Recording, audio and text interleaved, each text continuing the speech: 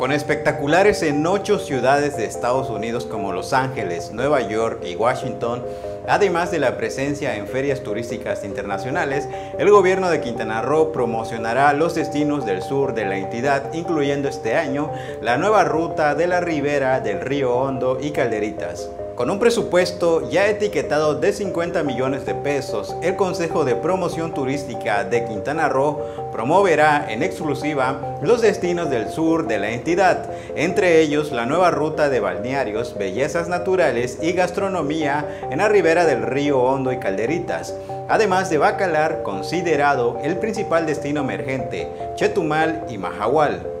Las campañas de promoción incluyen espectaculares en ciudades de Estados Unidos como Nueva York, Chicago, Atlanta, Minneapolis, Milwaukee, Phoenix, Los Ángeles y Washington, además de publicidad en pabellones propios durante las próximas ferias turísticas de Anato, Colombia, tianguis turísticos de México, Wedding Salon, Nueva York y WTM en Londres, Inglaterra, con recursos propios desde la desaparición del Consejo de Promoción Turística de México.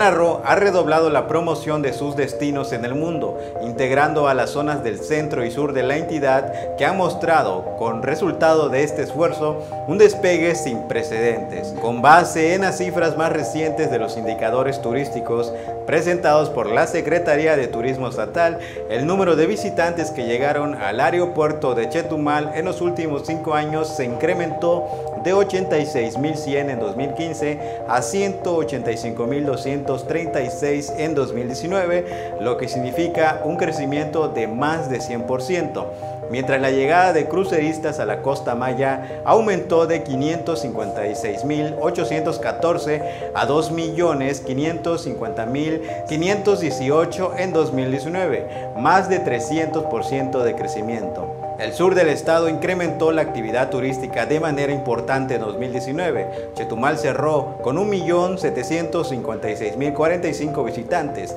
2.187 habitaciones, 75 hoteles y una ocupación del 53.3%. Mahahual con 973.936 visitantes, 551 habitaciones, 50 hoteles y una ocupación del 60.3%. Y Bacalar con 196.766 visitantes, 1.050 habitaciones, 90 hoteles y una ocupación del 82.1%.